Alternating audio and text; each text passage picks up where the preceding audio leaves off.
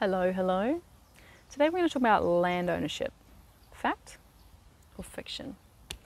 Well, as you mm, could be aware by now,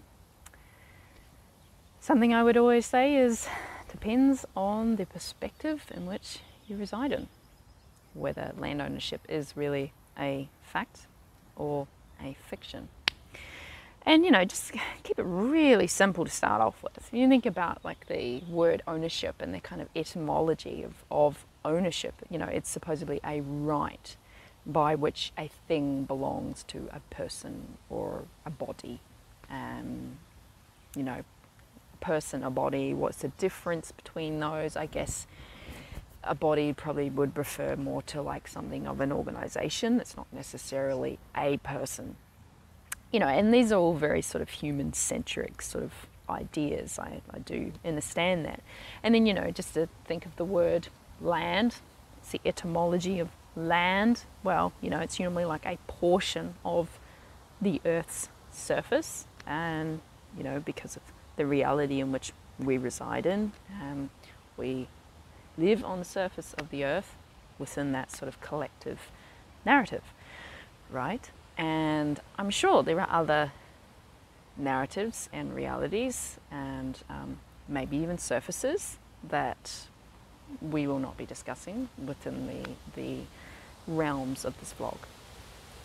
Let's keep it a little bit more sort of not multi-dimensional, just very one-dimensional if we can. or third dimensional, depending on what label you want to sort of label this dimension. Anyway, I we'll get back into what I'm here to say. So, buying land. Well, I'll keep it sort of within the constructs of this land in which I reside in, Australia, and this sort of white man way, you know, like land and land ownership in Australia in the white man way. I want to say that with quotation marks is, you know, basically the Commonwealth can take it from you, technically, whenever they wish to. You just kind of have like an estate in which you can use that land. Um, in their technical white man law, it's sort of like no individual person really owns the land. It's this sort of commonwealth, and they give you a right to have an estate in that portion of which you've supposedly bought, right? And, you know, I'm sure it's pretty common knowledge these days, like most sort of uh, nations, something like Australia, are registered sort of companies um, nowadays anyway. And uh, I'm residing in the state of Queensland as I'm recording this, and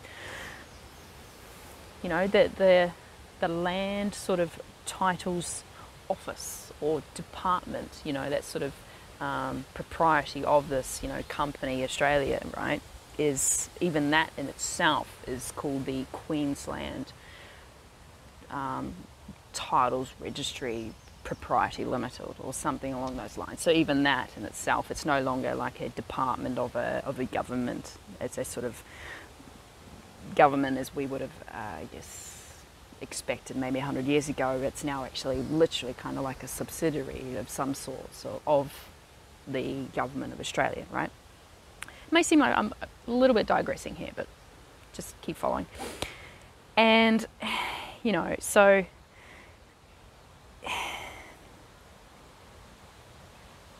it's interesting, obviously, like, you know, so the Commonwealth, right, owns this land technically, and only, I'm only talking here in the white man way. The white man way. They think they own the land, then it has its own sort of like agents, such as the Australian government, and the Australian government has its own sort of subsidiaries, you know, depending on which states you're in. And, you know, even with that sort of white man, human created law, the obtaining of that land originally was not even legal in its own human white man law created like reality. Like the, the white man laws that supposedly we're all supposed to abide by even looking at the you know the obtaining of the land through that lens.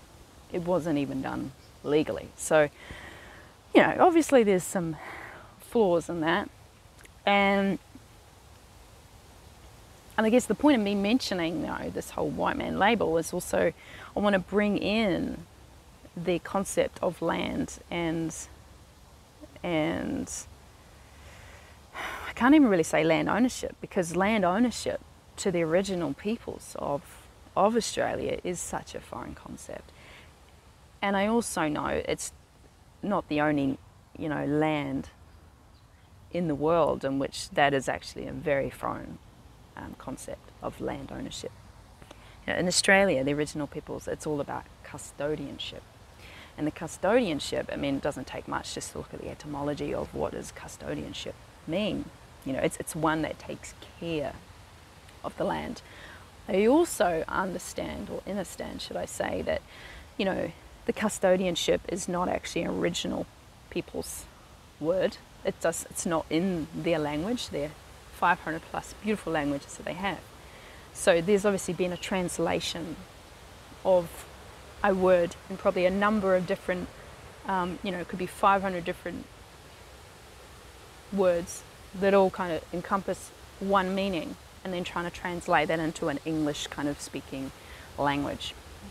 Um, and I guess what the consensus is, is as close as we can put it in is uh, custodianship. And you know, yes, the translation of words from an original language, or should I say, a language in which you know is, is probably considered much older than the English language, that does have its own limitations. I mean, I could share some more about the um, supposed uh, Treaty of Waitangi in New Zealand and the translations between um, the iwi and uh, the English language, the Te Reo Māori and the English language, and how that caused um, some, uh, let's say, misjustices. Anyway, it's not the point of the video. So, you know, and I guess the point of me sharing about this you know, land ownership or is it more actually custodianship, is to get us back into remembering that everything is temporary. And I don't remind you just for the fact of you to sort of embody this energy or this um, this mindset of oh well it's just temporary. Why should I even care about the land I live on? Like who gives a whatever? Um, but it's actually I'm reminding you because I would I'm trying to encourage the embodiment that's almost in the polarity to that of okay everything is temporary and I am or we are custodians of this land in which we're residing in so how do we actually take care of this land for those that will always be coming after us you know, if it's not your children, someone else's children. And, you know, just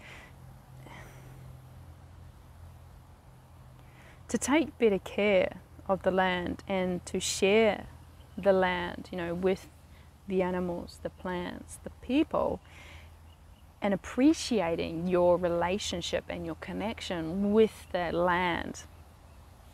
Well, some pretty amazing things can happen actually. I'll leave that open up to your imagination because I'm not here to tell you what that should and shouldn't look like. And another thing I would like to just gently remind you is just because you, in this human created law, have a right to reside somewhere does not necessarily take away the rights of others in universal law. And as some of you may be aware, universal law will always override human created law in some shape or form at some point within this weird time sort of line that we sit in. So, yeah, land ownership, fact or fiction, there's a lot of things for you to ponder. You can research some more on, on those, right? And depends also on the perspective you want to reside in. Do you want to stay with this sort of, you know, white man, human created law? Would you want to see land ownership as more of a land custodianship like the original peoples that potentially resided on the land that you now reside on? And I am, you know, I am very aware that, you know, this kind of white man sort of label you know, this has been a transpiring and a spiraling sort of evolution, de-evolution, whatever you want to see it as, of where they once were once upon a time. Like custodianship was, from my understanding, a concept that was actually acknowledged across all peoples all around the world. It didn't matter what colour one's skin resided in. It was just a a sort of fractalization or fragmentation, should I say, of, of different ways of how that is now seen. Um, so now I'm feeling like this is probably all I need to share within this, this vlog. I'm curious to know around your sort of concepts and ponderings of land ownership or land custodianship. And if you have any questions, you are more than welcome to leave those in the comment section down below. I'm also on a various other uh, social media platforms as well if you would rather connect on there. And I will see you soon.